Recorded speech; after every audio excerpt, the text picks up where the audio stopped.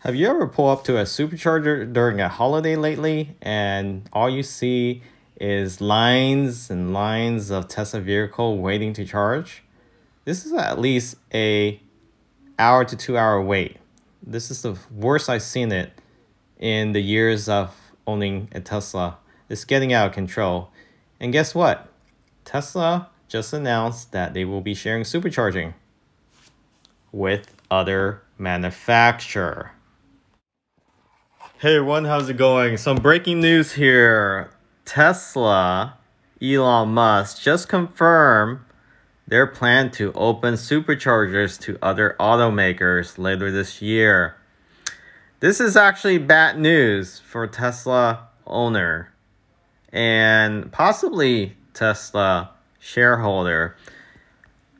A lot of the details have not been shared, but Tesla spent a lot of money building this infrastructure over the last decade, and no other car manufacturer, even Electrify America, which is supposed to be developed by Volkswagen due to their um, them lying about the diesel vehicle back in the days um, on their mission, especially with those older Audis and also the, the Golf.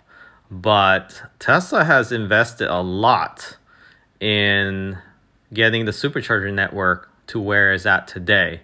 And that's one of the perks of buying a Tesla is you have access to supercharger as well as third-party charger, giving you the flexibility of being able to charge and really go on road trips.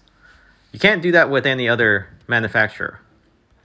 Um, so this has been pressure by the government, especially in Europe, and now it looks like it's coming to the US um, we're not sure how Tesla will manage charging third-party access to their supercharger network.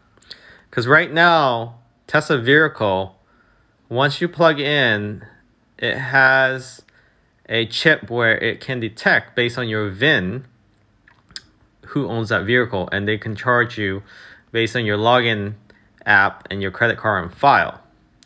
So there are some incentive from the government um, as well, but this is the latest information um, we're, we're seeing here from electrek.co. Uh, just released about 28 minutes ago. So we wanted to share this with you right away. And Tesla has over 25,000 supercharger all over the world. Um, and it's quite quite concerning because right now, even without access from other manufacturer, it's already packed. I don't know if if this is a good thing for Tesla owner. I'm actually quite concerned um, if it's even worth it uh, to go through all this for Tesla. They should have just straight up deny access to any third party. They're not obligated to do this, but you know, Elon is all about, you know, supporting the movement, which I totally respect. But other manufacturer needs to hold their own. Um, at the end of the day, if Tesla deny, they're gonna have to force and cause other manufacturers to start developing um, charging station or at least force the government to put in some money instead of just throwing money at uh, at the unemployment right now. Um, and people are just not going back to work because of that. So something to keep in mind um, neither here or there but this is uh, hot off the press I don't know what your thoughts are on this um, comment down below if you think Tesla opening up their supercharger to other manufacturer is a good thing. Um, I I have mixed feeling. Uh, in part partially because I'm biased and being a Tesla owner myself and already have issues waiting in line, especially during holidays. to just get a charge, and now you're gonna have other manufacturer waiting in line with you. It's just gonna be very chaotic unless Tesla is able to double or triple the current uh, supercharging network in the next six months, then they should be able to they should be able to handle the influx of other manufacturer. Uh, I'm all open to renewable energy, but to put everything on Tesla, I think it's quite unfair.